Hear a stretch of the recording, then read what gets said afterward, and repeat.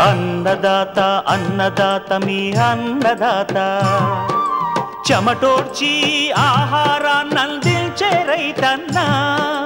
అనునిత్యం నీ కండదండగా నిలిచే నేస్తం ఎవరన్నా. అన్నదాత అన్నదాత మీ అన్నదాత.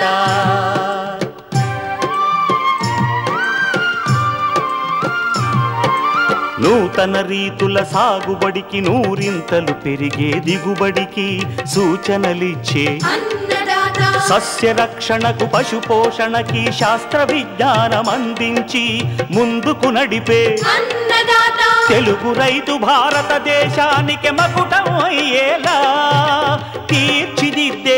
ఆశయంతో మిమ్ము మేలు కొలిపేది అన్నదాత.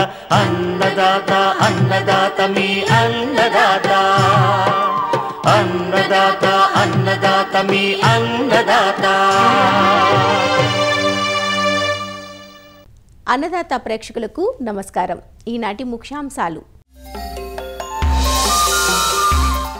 సమగ్ర సస్యరక్షణలో భాగంగా పురుగుల నివారణకు జీవరసాయనాల వాడకం. ఫెర్టికమ్ సీడ్రిల్తో వేరుశనగ మొక్కజొన్న సాగు. పునాస మామిడి సాగులో యాజమాన్యం.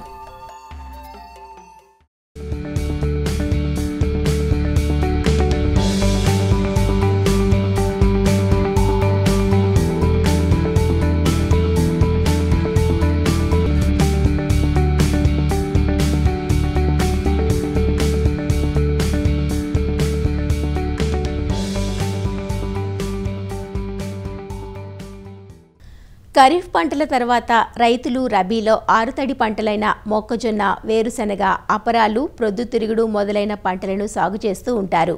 విత్తే పనులకు కూలీలను వినియోగించడం పరిపాటి. కానీ రోజురోజుకు పెరుగుతున్న కూలీల కొరతతో సకాలంలో విత్తనాన్ని విత్తుకోవడం సాధ్యం కాని పని. ఇలాంటి పరిస్థితుల్లో విత్తనం ఎరువు ఒకేసారి వేసే ఫెర్టికమ్ సీడ్ డ్రిల్ అనే పరికరం అక్కరకొస్తుంది. వేరుశనగ మొక్కజొన్న వంటి పంటలను ఫెర్టికమ్ సీడ్ విత్తడం వల్ల విత్తనం వరుసల్లో పడటమే కాకుండా విత్తనం ఆదా అవుతుంది.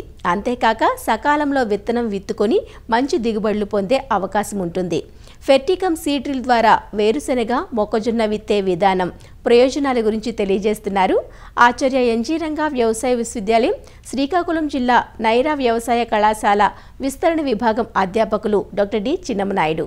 శ్రీకాకుళం జిల్లా కానీ ఉత్తర కోస్తా జిల్లాలో మనకి రెండో పంటగా అంటే రబీ పంట కాలంలో వేరుశనగ మొక్కజొన్న ఆలస్యంగా కొంతవరకు అపరాలు ఇలాంటి వేయటం అనేది జరుగుతూ ఉంటుంది. ప్రత్యేకంగా వేరుశనగ మొక్కజొన్నలో చూసుకుంటే విత్తనాలు వేయడానికి కూడా కూలీలను ఎక్కువగా ఉపయోగించడం అనేది జరుగుతుంది. అది కూడా నాగటి చాలుల్లో సాధారణంగా ఇడ్లు నాగల చాలుల్లో విత్తనాలు వేయటం అనేది జరుగుతుంది. వేరుశనగ అయితే బొంగరం చాలులో వేసేయడం జరుగుతుంది. మొక్కజొన్న అయితే నాగటి చాలులో వేయడం వల్ల వరుసల మధ్య దూరం చాలా తక్కువ అయిపోతుంది దగ్గర దగ్గరగా వేసేస్తున్నారు.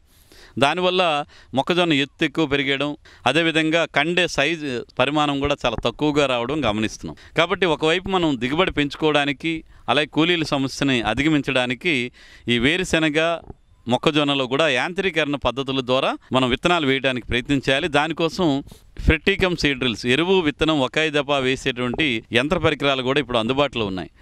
దీనివల్ల ఏంటంటే వరుసకి వరుసకి మధ్యన దూరం కూడా మనం నిర్ణీతమైన దూరం పెట్టుకోవడానికి ఆస్కారం ఉంటుంది. వరుసల్లో మొక్కల మధ్య కూడా దూరం సమానంగా పెట్టుకోవడానికి ఆస్కారం ఉంటుంది కాబట్టి దీనివల్ల గాలి వెలుతురు బాగా తగిలి చీడపీడల సమస్య తగ్గడం అలాగే ఆరోగ్యంగా మొక్క పెరగడం వల్ల మంచి దిగుబడులు రావడం అనేది జరుగుతుంది. అదేవిధంగా వేరుశెనగ అయితే ఒక పది నుంచి పదిహేను శాతం వరకు కూడా విత్తన మోతాదు తగ్గించుకోవచ్చు. మొక్కజొన్నలోకి ఐదు నుంచి ఏడు శాతం వరకు కూడా విత్తన మోతాదును తగ్గించుకోవడానికి అవకాశం ఉంటుంది. అదేవిధంగా ఈ ఫెర్టికమ్ సీడ్రిల్లో వేయడం వల్ల మనం ఏదైతే మొదటి దప్ప వేసేటువంటి ఎరువులు కూడా మొక్కకి అందుబాటులో మొక్క వేరు వ్యవస్థకు దగ్గరలోనే ఎరువు అందుబాటులో ఉంటుంది కాబట్టి వేరు వ్యవస్థ కూడా బాగా అభివృద్ధి చెందడానికి ఆస్కారం ఉంటుంది. దీంట్లో వేసేటప్పుడు మనం చూస్తే కనుక మనకి మొక్కజొన్నకి వేరుశెనగ విత్తన పరిమాణం సుమారుగా ఒకేలాగా ఉంటుంది సైజు ప్రకారంగా చూసుకుంటే. కాబట్టి ఆ ఫిట్టికం సీడ్రిల్లో ఆ స్కూప్ని ఎంచుకోవాలి. మనం స్కూప్ ఎంపిక చేసుకున్నప్పుడు తెల్ల స్కూప్ని తీసి విత్తన పరిమాణాన్ని బట్టి ఏ స్కూప్ వేసుకోవాలనేది ముందుగానే నిర్ణయించుకొని మనం తొమ్మిది వరుసల్లో తొమ్మిది స్కూపులను కూడా మనం ఏర్పాటు చేసుకుంటాం. సీడ్ క్యాలిబ్రేటింగ్ స్కూప్స్ అని ఉంటాయి వెనక ఉంటాయి. దాన్ని మనం కరెక్ట్గా అమర్చుకుంటే విత్తనం కూడా సరైన దూరంలో పడడానికి ఆస్కారం ఉంటుంది. ఇకపోతే ఈ సీడ్ డ్రిల్స్తో వేసేటప్పుడు భూమి తయారీ మీద కూడా రైతులు కొంత దృష్టి పెట్టాలి. మామూలుగా ట్రాక్టర్లతో కల్టివేటర్తో దున్నేటప్పుడు ఆ చాలులు ఎగుడు దిగుడుగా ఉండి మనం సీడ్ డ్రిల్ ద్వారా విత్తనం వేసేటప్పుడు ఆ పైపుల్లో పడేటప్పుడు తుల్లిపోతుంటాయి. ఈ కథలకు ఎక్కువైతే. కాబట్టి లోతులో సరైనటువంటి లోతులో పడాలి సమానంగా పడాలంటే చివర దుక్కి తప్పనిసరిగా రొటావేటర్తో చేసుకోవాలి. దీనివల్ల ఏంటంటే మొదటి నాలుగు అంగుళాలు కూడా బాగా గుండగా తయారవుతుంది లోతు కూడా సమానంగా ఉంటుంది లెవెలింగ్ కూడా బాగా అయిపోతుంది. అలాంటప్పుడు మనం సీడ్ డ్రిల్స్తో కనుక విత్తనాలు వేస్తే మనం రెండున్నర మూడు అంగుళాల లోతులోని విత్తనం పడి విత్తనం మొలక శాతం తగ్గకుండా ఉంటుంది. మొక్కజొన్న అయితే కనుక మనం ఈ సీడ్ డ్రిల్తో వేసేటప్పుడు ఎకరానికి ఎనిమిది కిలోల విత్తనం సరిపోతుంది. దానికి విత్తన శుద్ధి చేసుకొని మనకి ఈ కత్తెర పురుగు కోసం అయితే కనుక ఫోర్టెంజా డియోతోని ఒక కిలో విత్తనానికి ఐదు ఎంఎల్ వరకు శుద్ధి మందు కలుపుకొని విత్తన శుద్ధి చేసిన విత్తనాలను వాడుకోవచ్చు. దీనికి ఏంటంటే వరుసకి వరుసకి మధ్య అరవై సెంటీమీటర్లు వచ్చే విధంగా మనం ఆ పైప్స్ని కానీ నక్కుల్ని ఏర్పాటు చేసుకుంటాము. విత్తన డ్రమ్లో విత్తనాలు పోస్తాము. దీంతో పాటుగా ఎరువులు కూడా వేసుకోవడానికి. ఈ సీడ్ డ్రిల్తో వేసేటప్పుడు ఇంకొక ఉపయోగం ఏంటంటే మనకి బ్యాసల్ డోస్ అంటే మొదటి తప్ప వేసేటువంటి ఎరువులు ఏవైతే ఉన్నాయో విత్తనంతో పాటే వేసుకునేటువంటి అవకాశం ఉంటుంది. ఈ విధంగా విత్తనాలు వేసేటప్పుడు ఏంటంటే మనకి నిర్ణీత దూరంలోని వరుసకి వరుసకి మధ్యలో కూడా విత్తనాలు సమానమైన దూరంలో పడతాయి. అలాగే ఒకే వరుసలోని వేసిన విత్తనం మధ్య కూడా దూరం సక్రమంగా ఉంటుంది కాబట్టి ఈ విధంగా మనకి ఎకరానికి ఎనిమిది కిలోలు విత్తనాలు మొక్కజొన్నకి సరిపోతాయి. ఈ మొక్కజొన్న కూలీల సహాయంతో మనం ఎడ్లు నాగళ్ళు సహాయంతో వేసినప్పుడు సుమారుగా రెండు వేల నుంచి రెండు వేల ఐదు వందల రూపాయల వరకు కూడా ఖర్చు అయిపోతుంది. అదే మనకి సీడ్ డ్రిల్తో కనుక వేసుకుంటే ఒక పన్నెండు వందల యాభై రూపాయలతోనే మనం ఒక ఎకరా వేసుకోవచ్చు. అదేవిధంగా మనం ఈ వేరుశెనగ పంట వేరుశెనగలో కూడా మనకి ఎకరానికి ఈ పద్ధతిలో వేసేటప్పుడు మనకు ఒక యాభై ఐదు కిలోల విత్తనాలు సరిపోతాయి. వేరుశెనగలో చూసినప్పుడు వరుసకి వరుసకి మనం ఇరవై రెండున్నర నుంచి ఇరవై ఐదు సెంటీమీటర్లు వరుసకి వరుసకి వచ్చే విధంగా మనకున్నటువంటి సీడ్ డ్రిల్లో ఉన్న టైన్స్ అంటారు. నక్కుల్ని ఆ పైపులను అన్నింటిని కూడా ఏర్పాటు చేసుకుంటాం. ఇందులో కూడా మనం మొదటి తప్ప వేసేటువంటి ఎరువులు. ఎందుకంటే ఎరువు అంతా కూడా కూడా ఎక్కడ విత్తనం ఏ వరుసలో పడుతుందో అదే వరుసలో ఎరువు పడే విధంగా మనం ఉంటుంది కాబట్టి మనం వేసేటువంటి ఎరువు మోతాదుని కూడా ఒక ఇరవై శాతం వరకు తగ్గించుకునేటువంటి అవకాశం ఉంటుంది. అదేవిధంగా ఇక్కడ కూడా ఖర్చులు తగ్గుతాయి. మనకి ఇక్కడ వేరుశెనగ కూడా మనకి ఎకరానికి రెండు వేల నుంచి రెండు వేల ఐదు వందల రూపాయలు కూలీలతో ఖర్చు అయితే ఇక్కడ కూడా మనం పన్నెండు వందల యాభై నుంచి పదిహేను వందల రూపాయల్లోనే మనకి వేరుశెనగ ఒక ఎకరానికి ఖర్చులు అవుతాయి కాబట్టి ఆ విధంగా ఎకరానికి ఒక వెయ్యి రూపాయల వరకు కూడా సాగు ఖర్చు తగ్గించుకోవచ్చు. అదేవిధంగా విత్తనాలు ఒకసారి వేసి మొలక వచ్చిన తర్వాత సాధారణ వేరుశెనగ మొక్కజొన్నకి ఎలాగైతే ఎరువుల యాజమాన్యం కానీ నీటి యాజమాన్యం కానీ చీడపేడల యాజమాన్యం కానీ చేపడతాము ఈ ఫెర్టికమ్ సీడ్రిల్లో వేసిన మొక్కజొన్న కానీ వేరుశెనగ కూడా అదే యాజమాన్య పద్ధతుల్ని మనం పాటించుకుంటే సరిపోతుంది. సాగు ఖర్చు తగ్గుతుంది. దిగుబడి కూడా ఒక పదిహేను నుంచి ఇరవై శాతం పెరిగి నికర ఆదాయం పెరగడానికి ఆస్కారం ఉంటుంది కాబట్టి రైతులు వరుసల్లో వేయడానికి ఉన్నటువంటి ఈ ఫెర్టికమ్ సీడ్రిల్ ఎరువు విత్తనం ఒకే దఫా వేసే యంత్ర పరికరాలతో ఈ పంటల్ని వేయాల్సిందిగా రైతు సోదరులకి సూచిస్తున్నాను.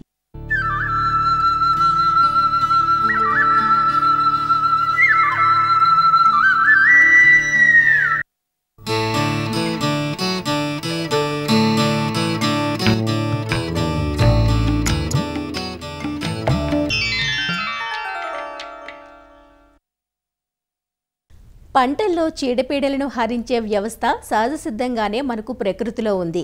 చీటికి మాటికి రసాయన పురుగు మందులను వాడితే శత్రు పురుగులతో పాటు మేలు చేసే పురుగులు కూడా చనిపోయి జీవ వైవిధ్యం దెబ్బతింటుంది. దీనివల్ల కాలుష్యం వంటి అనేక దుష్పరిణామాలను మనం ఇప్పటికే ఎదుర్కొంటున్నాం. అయితే క్రిమికీటకాలను సంహరించడానికి ఒక బదనికలు పరాణజీవులే కాదు. బ్యాక్టీరియా ఫంగస్ వైరస్ వంటి సూక్ష్మజీవులను ఉపయోగించవచ్చు. వీటినే జీవరసాయనాలు అంటారు. జీవరసాయనాలను ఉపయోగించి చీడపీడలను అరికట్టడాన్నే జీవ నియంత్రణ అంటారు. ఈ జీవరసాయనాలను సమగ్ర సస్యరక్షణలో భాగంగా వాడుకుంటే పంటల్లో చీడపీడలను బేషుగ్గా నివారించుకోవచ్చు. ఇవి పర్యావరణ హితం కూడా. ముందుగా పురుగులను నివారించే జీవరసాయనాల గురించి ఇవాల్టి అన్నదాతలో ప్రొఫెసర్ జయశంకర్ తెలంగాణ రాష్ట్ర వ్యవసాయ విశ్వవిద్యాలయం రాజన్నగర్లోని జీవ నియంత్రణ ప్రయోగశాల ప్రధాన శాస్త్రవేత్త మరియు అధిపతి డాక్టర్ జి. అనిత నుంచి తెలుసుకుందాం. జీవ నియంత్రణ పద్ధతుల్లో మనకు సాధారణంగా జీవ నియంత్రణ పద్ధతుల్లో రెండు రకాలు ఉంటాయండి. ఈ ఏదైతే రోగనాశక జీవ నియంత్రణ పద్ధతులు అలానే కీటకనాశక జీవ నియంత్రణ పద్ధతులు ఉంటాయి. జీవ నియంత్రణలో ముఖ్యంగా కీటకనాశక జీవ నియంత్రణ చూసే చూసేసరికి ఏదైతే మిత్ర పురుగులు కానీ అంటే బదనికలు పరాన్న జీవులు ఇవి వాడుకుని జీవ నియంత్రణ పద్ధతులు పాటించడం లేదంటే సూక్ష్మజీవులు వాడుకుని జీవ నియంత్రణ అన్నది మనం పొలంలో తెచ్చుకోవడం. మిత్ర పురుగులు కానీ పరాన్నజీవులు సాధారణంగా చాలా రకాలు ఉంటాయి. గ్రుడ్డు పరాన్నజీవి లేదంటే లార్వా పరాన్నజీవి గ్రుడ్డు లార్వా పరాన్నజీవి అలానే ప్యూపాదశ ప్యూపాదశ పరాన్నజీవి. ప్రయోగశాలలో మనం కృత్రిమంగా ఈ పరాన్నజీవుల్ని పెంపొందించుకుని ఇలా తయారు చేసుకున్న పరాన్నజీవుల్ని మనం పొలంలో విడుదల చేసుకున్నప్పుడు ఇవి మనకి జీవ నియంత్రణ క్రియ అన్నవి తయారు చేసి మనకి పురుగులు బెడదన్నది చాలా వరకు తగ్గిస్తుంది. బదనికలు బదనికలు అంటే సాలెపురుగు లేదంటే అక్షింతల పురుగు. ఇలాంటి పురుగులను మనము పొలంలో విడుదల చేసుకుని అవి తయారు చేసే ఈ జీవ నియంత్రణ క్రియ అన్నది మనం వాడుకున్నప్పుడు దాన్ని బదనికలు అంటారు. పరాన్నజీవుల్లో చాలా వరకు మనకు ట్రైకోగ్రామా గుడ్డు పరాన్నజీవి అన్నది చాలా వరకు రైతుల్లో ప్రాచుర్యం పొందింది. ట్రైకోగ్రామా గుడ్డు పరాన్నజీవిని మనము మన ల్యాబొరేటరీలో తయారు చేసుకుని రైతులకు మనము సరఫరా చేస్తున్నాము. కీటకనాశక జీవరసాయనాలు. కీటకనాశక జీవరసాయనాలు అంటే సహజంగా పురుగులు ఏదైతే శత్రు పురుగులు ఉంటాయో వీటిని పొలంలో చాలా వరకు సూక్ష్మజీవులు కీటకాలను ఆశించి వాటిని అంతం చేస్తూ ఉంటాయి. ఈ జీవరసాయనాల్లో ముందుగా శిలీంద్ర ఆధారిత జీవరసాయనాలు అంటే శిలీంద్ర బీజాలను తీసుకుని ఆ బీజాలను మనము లా- ప్రయోగశాలలో పెంపొందించుకొని ఈ బీజాలను మనము తయారు చేసుకుని పొలంలో పిచికారీ చేసుకున్నట్లయితే జీవ నియంత్రణ క్రియ అన్నది జరిగి మనకి ఈ పురుగు ఉధృతి అన్నది చాలా వరకు తగ్గుతుంది. జీ శిలీంద్ర ఆధారిత జీవరసాయనాల్లో ముఖ్యంగా మనకి అందుబాటులో ఉండేవి లెక్కానిసిలియం లెక్కాని అంటే ఇది ఒక శిలీంద్రం అండి. మనకి ఎక్కడైతే రసం పీల్చే పురుగులు ఉంటాయో అంటే పచ్చదోమ లేదంటే నల్లి లేదంటే తెల్లదోమ మీలీ బగ్స్ అంటే పిండి నల్లి. ఇలాగ వచ్చే రసం పీల్చే పురుగులను మనం సమర్థవంతంగా అరికట్టుకోవడానికి లెక్కానిసిలియం లెక్కాని అనే ఈ జీవరసాయనాన్ని మనం పొలంలో పిచికారీ చేసుకోవచ్చు. లెకానిసిలియం లెకానిని కొబ్బరిలో లేదంటే జామలో అలానే అరటిలో ఇలాగ కోకోలో రూగోస్పైరలింగ్ వైట్ ఫ్లైని కూడా నియంత్రించుకోవడానికి సమర్థవంతంగా వాడుకోవచ్చు. రెండవది మనకి మెటారైజియం ఎనైసోప్లియే. మనకి ఎక్కడైతే మిడతలు లోకస్లు అంటాము మిడతలు లేదంటే టెర్మైట్స్ చెదల కోసం లేదంటే తామర పురుగు నివారణ కోసము లేకుంటే ఈ కత్తెర పురుగు అంటే మొక్కజొన్నలో వచ్చే ఈ కత్తెర పురుగు నివారణ కోసం మనం ఈ మెటారైజియం ఎనైసోప్లియే అనే ఈ జీవరసాయనాన్ని వాడుకుని పొలంలో సమర్థవంతంగా ఈ పురుగులు ఉధృతన్నది తగ్గించుకోవచ్చు. మూడవ జీవరసాయనం బవేరియా బెసియానా. బవేరియా బెసియానా అంటే మనకి ఎక్కడైతే లార్వా దశ పురుగులు ఉంటాయో అంటే ఉదాహరణకి మనకి క్యాబేజ్లో వచ్చే డైమండ్ బ్యాక్ మాత్ కానీ వివిధ పంటల్లో మన శనగపచ్చ పురుగు కానీ వేరుశనగలో వచ్చే పొగాకు లద్దె పురుగు కానీ నియంత్రించుకోవడానికి ఈ బవేరియా బెస్సియానా జీవరసాయనం వాడుకోవాలి. వరిలో వచ్చే సుడిదోమను కూడా ఈ బవేరియా బెస్సియానా అన్నది సమర్థవంతంగా నియంత్రిస్తుంది. ఈ మూడు జీ శిలీంద్ర ఆధారిత జీవరసాయనాలు మూడు కూడా రైతుకి ద్రవ రూపంలో కానీ పొడి రూపంలో కానీ లభ్యమవుతున్నాయండి. వీటిని ఒక లీటర్ నీటికి ఐదు ఎంఎల్ కానీ ఐదు గ్రాములు కానీ కలుపుకొని పంట మీద పిచికారీ చేసుకోవాలి. శిలీంద్ర ఆధారిత కీటనా కీటకనాశక జీవరసాయనాల్లో పర్ప్యూరియోసిలియం అనే ఒక జీవరసాయనం ఉంది.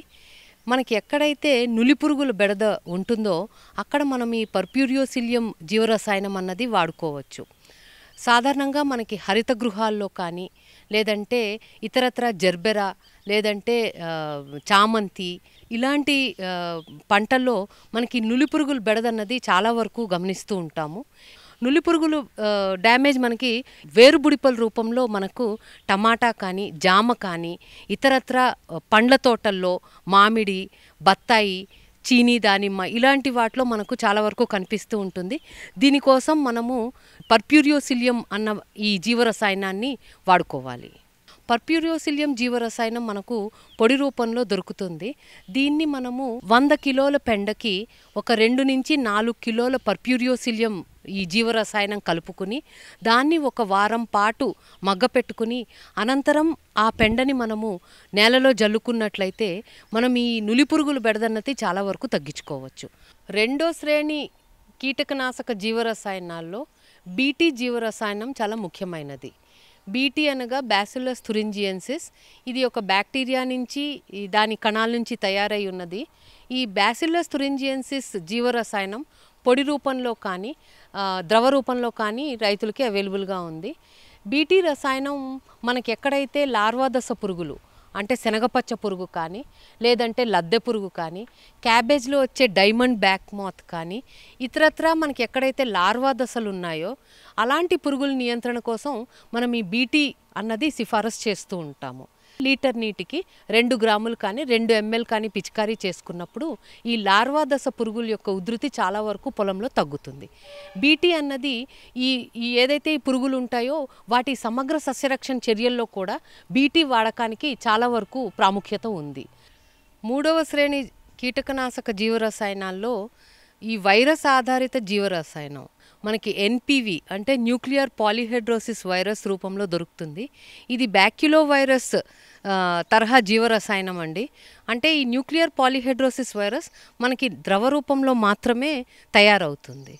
శనగపచ్చ పురుగు. అంటే శనగ పంటలో కానీ ఇతరత్ర కూరగాయ పంటల్లో మనకు వచ్చే శనగపచ్చ పురుగు కానీ వేరుశనగలో వచ్చే పొగాకు లద్దె పురుగు కానీ వీటి రెండుటికి చాలా వరకు ఈ రెండు పురుగులకే మనకి న్యూక్లియర్ పాలిహెడ్రోసిస్ వైరస్ ద్రావణం అన్నది ప్రస్తుతం మార్కెట్లో లభ్యమవుతుంది. ఈ దీని వాడకం చూసుకునే వరకు మనకి ఎకరానికి టూ హండ్రెడ్ ఎల్లి అన్న కాన్సన్ట్రేషన్తో ఈ వైరస్ ద్రావణం అన్నది వాడాలి. శనగపచ్చ పురుగు కోసం. పొగాకు లద్దె పురుగు కోసం ఎకరానికి వంద ఎల్లి హండ్రెడ్ ఎల్లి కాన్సన్ట్రేషన్ ఉండే ద్రావణం మాత్రమే వాడతాము.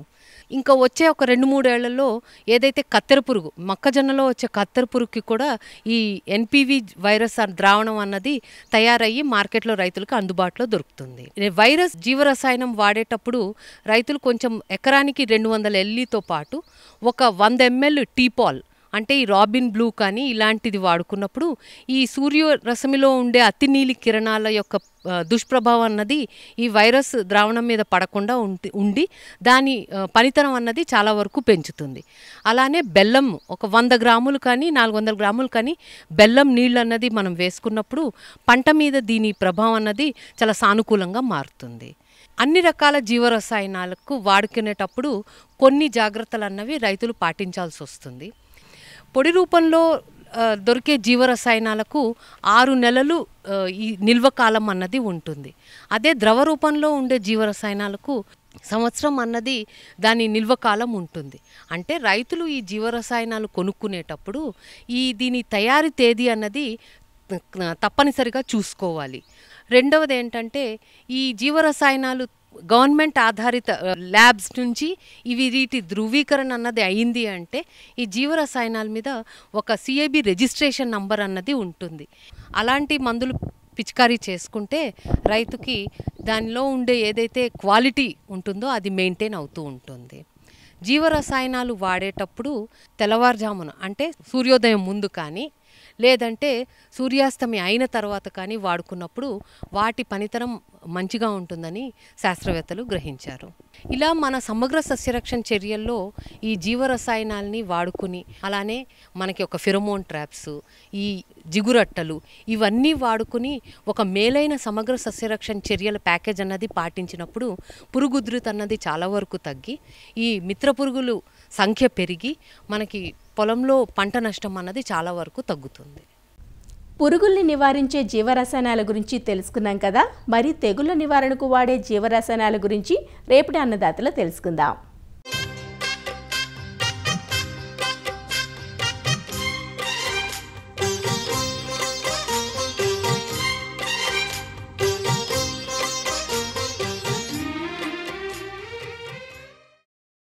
మధుర ఫలం మామిడి రుచులను ఆస్వాదించిన వారు ఎవరుంటారు చెప్పండి.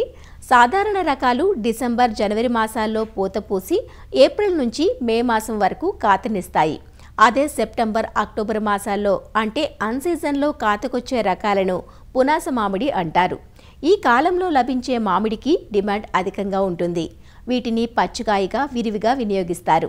దీంతో పునాస మామిడి రకాలను సాగు చేసేందుకు రైతులు ఉత్సాహం చూపుతున్నారు.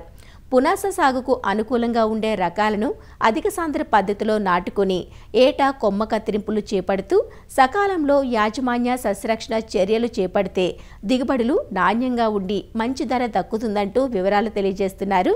శ్రీ కొండా లక్ష్మణ్ తెలంగాణ రాష్ట్ర ఉద్యాన విశ్వవిద్యాలయం సంగారెడ్డి ఫల పరిశోధన సంస్థ ప్రధాన శాస్త్రవేత్త మరియు అధిపతి డాక్టర్ సుచిత్ర. మామూలుగా మామిడి రకాలు చూసుకున్నట్లయితే మామిడి సీజన్ చూసుకున్నట్లయితే అది మనకి డిసెంబర్ జనవరిలో పూత వచ్చి ఏప్రిల్ నుంచి మే వరకు ఖాతా అనేది మనం చూస్తాము. ఇది మెయిన్ సీజన్ కాపు అంటారు. సో ఇది కాకుండా మనకి సెప్టెంబర్ అక్టోబర్లో వచ్చేది అది పునాస రకం. అయితే ఈ పునాస రకం ఒక్కొక్క ప్లేస్లో ఒక్కొక్కలాగా ఉంటుంది. ఇప్పుడు ఇంటర్నేషనల్ అంతర్జాతీయ మార్కెట్లో చూసినట్లయితే అది ఏప్రిల్ నుంచి డిసెంబర్ వరకు మనం యొక్క పునాస రకాల కాయలను అనేది మార్కెట్లో చూస్తాము. అయితే మన భారతదేశంలో చూసినట్లయితే కన్యాకుమారి అంతేకాకుండా ఆంధ్రప్రదేశ్ కోస్తా జిల్లాల్లో కూడా మనకి నిరంతరం కూడా ఈ కాపు అనేది చూడవచ్చు అయితే కొన్ని రాష్ట్రాల్లో మాత్రం ఇది ఏప్రిల్ నుంచి సెప్టెంబర్ వరకు కూడా ఈ యొక్క ఖాతాలు చూస్తాం. కోస్తా ప్రాంతాల్లో ముఖ్యంగా అధిక వేడి అంతేకాకుండా అధిక తేమ ఉండడం వల్ల ఈ యొక్క పూత అనేది నిరంతరం అనేది చూస్తూ ఉంటాం. అయితే మన ఆంధ్రప్రదేశ్ ముఖ్యంగా తెలంగాణ రాష్ట్రాలు చూసినట్లయితే ఇది సెప్టెంబర్ అక్టోబర్ నెలలో మాత్రమే ఈ యొక్క పునాస రకాలని చూస్తాం. అయితే ఉష్ణోగ్రతే కాకుండా ఈ యొక్క రకాలని బట్టి కూడా మనం ఈ యొక్క పునాస అనేది చూడొచ్చు. ఈ పునాస రకాలు అనేది కొంచెం స్పెషల్గా ఏప్రిల్ మేలలో మనకు పూత వచ్చేసి దాని తర్వాత సెప్టెంబర్ అక్టోబర్లో మన ఖాతాకు వచ్చే రకాల్లో మనం చూసినట్లయితే ఈ బొబ్బులి పునాస రకం అందులో రాయల్ స్పెషల్ అనేది ఇప్పుడు చాలా ప్రాచుర్యంలో ఉన్నది ఇంకా. ఇంకా అంతేకాకుండా తెఫాల అనే రకం తంబువా అనే రకం ఇలాంటి రకాలు మనకి పునాస రకాలుగా మనం చెప్పుకోవచ్చు. అయితే ఈ రకాలు పెట్టదలిచిన రైతులు ఎవరైనా ఉంటే దాని ఒక సంవత్సరం మొక్కలు సేకరించి హైడెన్సిటీ ప్లాంటింగ్లో నాటుకోవాల్సి ఉంటుంది. ఎందుకంటే ఈ సంవత్సరం పొడుగుతా వస్తుంది కాబట్టి దీనికి ఎక్కువగా ప్రూనింగ్స్ అనేది అవసరం. కాబట్టి మనం హైడెన్సిటీ ప్లాంటింగ్లో కూడా నాటుకోవచ్చు. మూడు బై మూడు మీటర్లు నాలుగు బై నాలుగు మీటర్లు రకరకాల స్పేసింగ్లో మనం వీటిని పెట్టుకోవచ్చు. అయితే మనకి ముఖ్యంగా రాయల్ స్పెషల్ అనేది మార్కెట్లో చాలా గిరాకీ ఉంది. ముఖ్యంగా తమిళనాడులో కానీ గోవాలో కానీ కేరళలో కానీ ఈ యొక్క రకానికి చాలా ప్రాచుర్యం ఉన్నది. ఎందుకంటే ఇక్కడ ఓనం ఫెస్టివల్ అనేది మనం చూస్తాము. అంతేకాకుండా సంవత్సరం పొడుగుతా ఈ కాయకి కూరగాయ కానీ ఊరగాయ కానీ పప్పుల్లో కానీ వాడుకోవడం వల్ల దీనికి గిరాకీ ఉంది. అయితే ఈ గిరాకీని బేస్ చేసుకొని చాలామంది రైతులు దీనిపైన ఇంట్రెస్ట్ చూపిస్తున్నారు. కావాల్సిన వారు సంగారెడ్డి నర్సరీల నుంచి రాయల్ స్పెషల్ అనే రకాన్ని లేకపోతే తంబువా అనే రకాన్ని మీరు తీసుకోవచ్చు. సో ఒక మొక్క వచ్చి ఒక అరవై రూపాయల మొక్క అంటు కట్టిన మొక్క. అయితే ఈ మొక్కను నాటుకున్న తర్వాత మనం ఒక మీటర్ ఎత్తు వచ్చిన తర్వాత మనం తప్పకుండా అన్ని మామిడి రకాల్లాగానే ఈ రకానికి కూడా ట్రైనింగ్ అనేది శిక్షణ అనేది ఇవ్వాల్సి ఉంటుంది. పైన కత్తిరించినప్పుడు కత్తిరించిన భాగం కింద నాలుగు కొమ్మలు అనేది రావడం జరుగుతుంది. ఈ నాలుగు కొమ్మలు ముప్పై నుంచి నలభై సెంటీమీటర్లు వచ్చిన తర్వాత దాన్ని తల తుంచినట్లయితే ఈ నాలుగు కొమ్మలు పదహారు కొమ్మలు రావడం జరుగుతుంది. ఇలా సంవత్సరం మీద ఒక రెండు నెలల తర్వాత ఇలా కత్తిరింపులు చేపట్టినట్లయితే ఈ రాయల్ స్పెషల్ అనే రకం కానీ పునాస రకం కానీ మనకి ఖాతాకి రెడీగా ఉంటుంది. సో సంవత్సరంన్నరలో మనము మొదటి కాపును అనేది తీసుకోవచ్చు. అయితే ముఖ్యంగా ఈ యొక్క పునాస రకంలో మనం చూసినట్లయితే ప్రూనింగ్ అనేది చాలా ముఖ్యమైన ప్రక్రియ. అయితే మామూలుగా డిసెంబర్ జానులో మనం పూత అనేది మామిడి రకాల్లో చూస్తాం. కానీ ఈ డిసెంబర్ జానులో మనం ఇక్కడ కత్తరింపులు అనేది చేపట్టాలి ఈ యొక్క పునాస రకంలో. అయితే రెండు నెలల తర్వాత దీనికి చిగుర్లు అనేది రావడం జరుగుతుంది. చిగుర్లు వచ్చిన తర్వాత ఆకు ముదిరినప్పుడు ఈ యొక్క చెట్లకి మనం పోషకాలు అనేది ఇవ్వాలి. ఈ పోషకాలు చూసినట్లయితే అర కేజీ యూరియా ఒక కేజీ పొటాష్ ఒక కేజీ ఫాస్ఫరస్ అనేది ఇచ్చిన తర్వాత వాటర్ అనేది పెట్టాలి. అయితే పూత పూసిన తర్వాత ఆరు నెలలకి మనకి ఒక ఖాతా అనేది కోతకి వస్తుంది. అయితే మనకి ఎప్పుడు ఖాతా కావాలనేది దాన్ని బట్టి మనము ముందే ప్లాన్ చేసుకున్నట్లయితే ఆరు నెలల ముందు కత్తిరించి ఆ కత్తిరించిన తర్వాత రెండు నెలలకి మనం పోషకాలు ఇచ్చినట్లయితే తర్వాత నాలుగు నెలల్లో మనకి ఆ కాయ అనేది మార్కెట్కి పంపించుకోవచ్చు. ఈ పునాసరకల్లో మనకు ముందు జాగ్రత్త చర్యగా పూత వచ్చినప్పుడు పాయింట్ మూడు ఎంఎల్ ఇమిడాక్లోప్రిడ్ అయితే ఎసిపెట్ అయితే ఒకటి పాయింట్ ఐదు గ్రాములు ఒక లీటర్ నీటికి కలిపి మనం పిచికారీ చేసుకోవాలి. పిండి నల్లి ఉధృతి కూడా వచ్చే అవకాశం ఉంటుంది. సో వీటికి నివారణగా మనము కింద ఒక పాలిథిన్ కవర్ మీద జిగురు పూసి పిల్ల పురుగులు పైకి ఎక్కకుండా ఈ యొక్క మొదలకి కట్టినట్లయితే సో చాలా వరకు ఈ యొక్క ఉధృతిని కంట్రోల్ చేసుకోవచ్చు. ఒకవేళ పిండి పురుగు పైన కాయల మీద ఆశించి కాయల నుంచి రసం పీల్చి ఆ నాణ్యత అనేది తక్కువ చేస్తుంది కాబట్టి పురుగు మందులు అనేది పిచికారీ చేసుకోవాలి. సో వీటికి ఎసిఫెట్ అనే మందు కానీ నీమాయిల్ అనే మందు కానీ ఐదు మిల్లీ లీటర్లు ఒక లీటర్ నీటికి కలిపి మనం పిచికారీ చేసుకున్నట్లయితే సో చాలా వరకు ఈ యొక్క ఉధృతి అనేది నివారించుకోవచ్చండి. మరిన్ని విభిన్న అంశాలతో రేపటి అన్నదాతలు మళ్ళీ కలుసుకుందాం. అంతవరకు సెలవు నమస్కారం. అన్నదాతలు తమ సందేహాలు సమస్యలను ఒకటి ఎనిమిది సున్నా సున్నా నాలుగు రెండు ఐదు నాలుగు సున్నా ఎనిమిది ఐదు టోల్ ఫ్రీ నంబర్లో ఉదయం పది నుంచి పదకొండు గంటల మధ్య పని దినాల్లో సంప్రదించగలరు. ఈ కార్యక్రమాన్ని యూట్యూబ్లో WWW dot YouTube dot com slash Annadata ETV link ద్వారా వీక్షించవచ్చు.